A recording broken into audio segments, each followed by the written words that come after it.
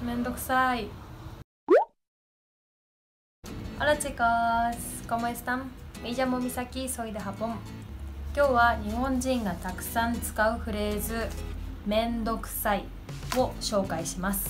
英語とかスペイン語ではあんまり使わないかもしれないんですけれど日本人はこのフレーズをめちゃめちゃ使います。2つ意味があるんですけどまず1つ目気が進まない時ややる気がない時。これやりたくないなって時。うーん。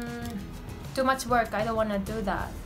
とか mucho trabajo no quiero hacerlo こういう時に使います。わ電話だ。誰からだろう。うわー上司からだ。この人話長いんだよね今日休みだし無視しちゃおう。Two hours later. えー、着信が20件あの上司から。もうめんどくさいことになってる。はいこれが1つ目の意味です。2つ目複雑でややこしくて、えー楽しくないことを表しますよし今日は自分でラーメンを一から作るぞ。楽しみ。にえーっとまずはスープから。まずは野菜をアクを取りながら6時間煮込みます。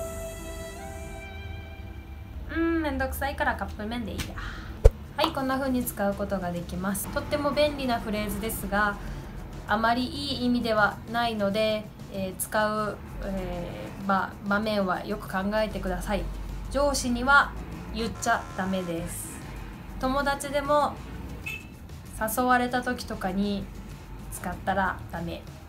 例えば映画行こうよって友達が言ってきた時めんどくさい。これは失礼です。友達いなくなっちゃいます。日本人には使っちゃダメ。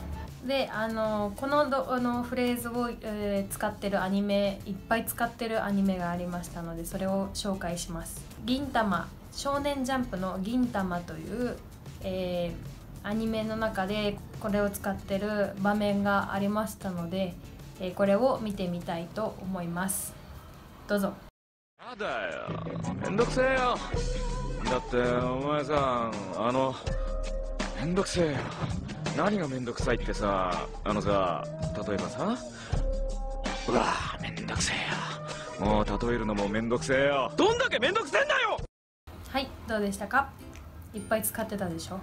今回の動画はこれで終わりです。また次回の動画でお会いしましょう。アディオスミサミゴス